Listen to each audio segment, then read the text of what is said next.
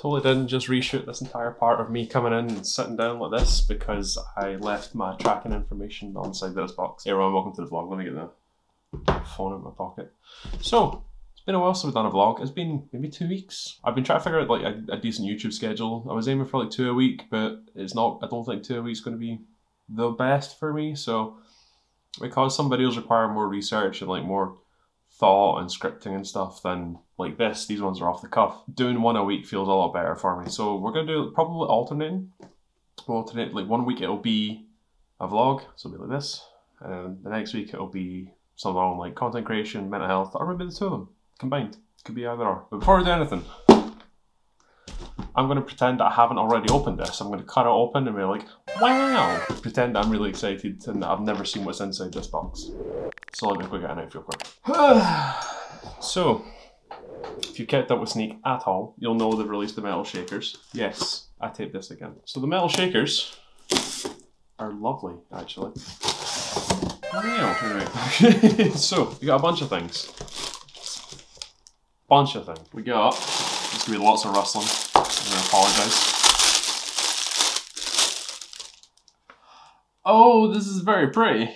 So, first up, we get the pink wave, pink drip. Pretty baller. Pretty baller. I had to, I really did have to complete the, the, the OG Shaker collection, um, the ones that are constantly available.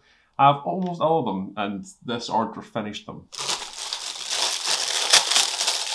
We got OG Twitch purple. It's very nice. It's not as pretty, like objectively not as pretty as this one. Like this one is easily prettier. Still pretty. Oh, it's packing. Look at the other. Is it Wave or is it Drag? I think it's called Wave. These are absolutely sick.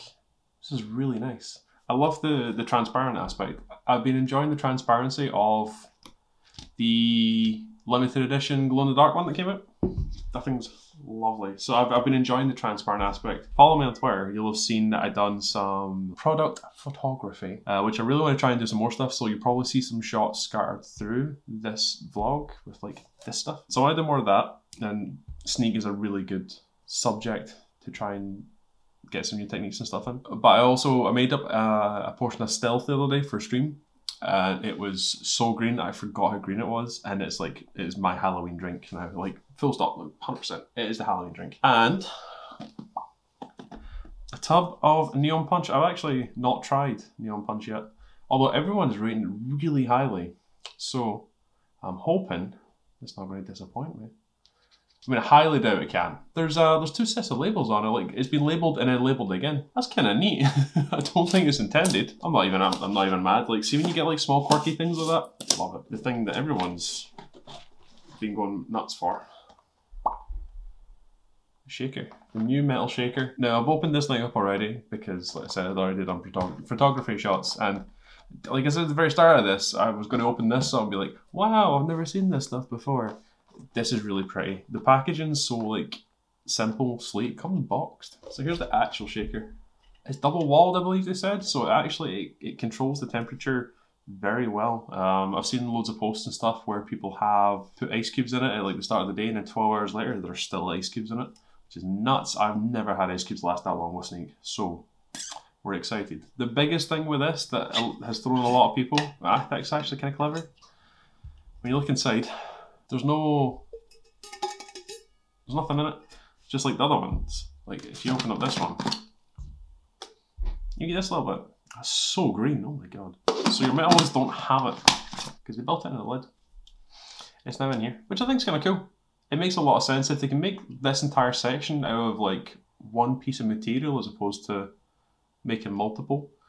It's probably worth it. It might actually reduce on plastic use, maybe. This thing has got a nice weight to it. Um, we'll actually, tell you what, we'll, we'll shake out a portion of punch and we'll see what we think. So give me a second.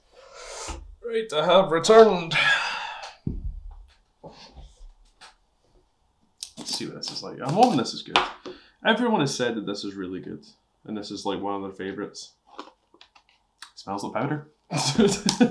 Who'd have thought? And, oh, My scoop's at the top. Do y'all know the pain when you buy a tub of Sneak? And your scoop is like buried at the bottom, so you go hunting for it. Like Nick Cage in National Treasure. Then when you find it's just not worth it, the effort that you put in is just nah. Right, let's see. Oh, that smells. That smells really fruity, actually. It reminds me of something. What does it remind me of? Pass. I don't know what it reminds me of, but that's lovely. I can totally see why everyone has been ranting and raving about that flavor. That flavor is lo- whoa. Yeah, that makes sense. That makes a lot of sense. All right, let me. Sorry, let me grab my laptop real quick because I've got I wrote down a couple things I want to talk about. Oh yeah, the big one that's had the well, a couple things have happened recently. It's been like the big Twitch leak. So if you've been around the internet in the last couple of days, you'll know about it. It's happened. Like, believe it was Wednesday. It happened. I'm terrible with days and dates and stuff like that, so don't take this like take all this with a grain of salt. So it happened. And the big thing that everyone was paying attention to was like, oh my god, like streamers are earning so much money, and like, y- yes. I don't understand what made you think they weren't. Like people like yeah, XQC, HasanAbi, stuff like that, like they're not shy about their subscriber count. And if you've done basic maths, you'd know they made money. Like it here's a very rough one, right? HasanAbi, the last time I seen a clip of his was in fifty thousand subs, right? Fifty thousand. You times that by roughly two point five, right? Because you know it's a five dollar sub split two dollar fifty times by two point five. That's roughly one hundred twenty five thousand in a month. Why I don't understand why people are really shocked by this. So wh- why is everyone like up in arms with this? And that doesn't include donations because this is just Twitch revenue. So it doesn't include donations. It doesn't include oh, sorry like advertising deals. If they're sponsored, X Y Z. There's a hundred like there's loads of other revenue sources that they have. This is just a Twitch money. I don't get why people are shocked by this because they've never had it. They've always had it in plain sight. It's been there for you. So why we're we suddenly like, oh, well, you make money. I don't like that. Like, where's the surprise here? And more importantly, why is this the thing that everyone's talking about?